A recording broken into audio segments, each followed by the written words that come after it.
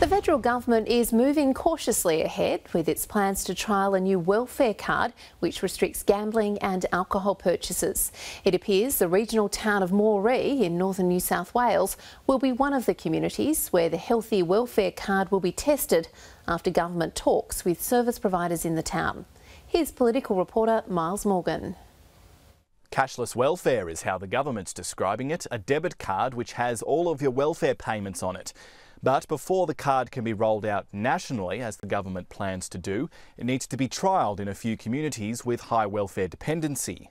There have been no decisions made on, on where the trial sites will be for the Healthy Welfare Card. There's been some consultations that have been taking place in various locations. And like Moree in northern New South Wales, the region is home to about 3,000 Aboriginal people and has an unemployment rate of 6%. A healthy welfare card, the brainchild of mining magnate Andrew Forrest, will be like the basics card, except all of your welfare will be put on it, and you can use it anywhere. It won't let you spend on things like alcohol and gambling. You've got to get the implementation right. You've got to get the implementation right. Uh, the previous government, even when they had the good idea, they invariably um, massacred it in its in implementation.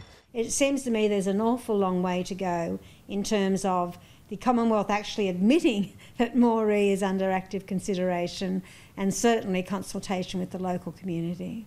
State Labor's Linda Burney says the opposition will support the healthy welfare card if communities like Moree want it. I don't mean the Shire Council, I don't mean the Centrelink office, I don't mean uh, the Department of Health. I mean the actual uh, people that would be subject to uh, this trial that would have to uh, use this particular card.